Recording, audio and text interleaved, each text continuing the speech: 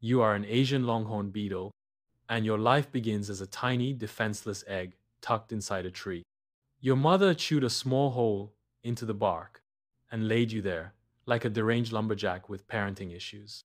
You're supposed to have a chance at life, but you've already been marked for death. Why? Because people hate your guts. You're considered an invasive pest that destroys entire forests. Authorities are actively hunting your kind down.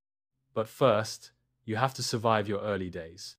You hatch into a pale, grub like larva, blind and squishy. Your first meal? The very tree you were born in. You spend your days burrowing deeper into the wood, gnawing through bark, sap, and fibers like a tiny, destructive termite wannabe.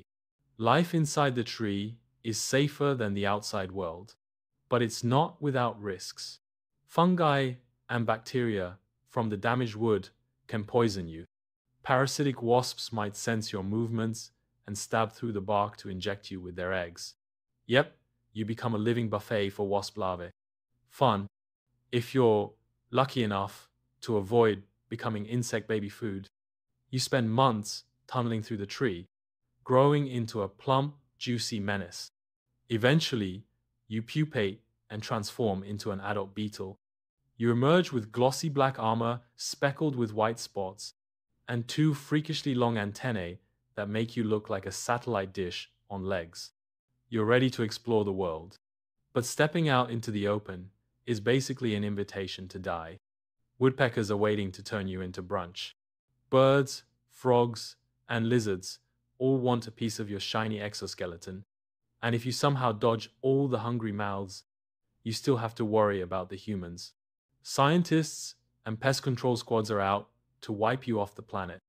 They cut down infected trees, quarantine areas, and spray pesticides, making your odds of survival even worse. If you do find a mate, congrats. You'll repeat the whole miserable cycle, laying eggs in trees doomed to be chopped down or burned. You'll be labeled as an eco terrorist and hunted like one. And the saddest part?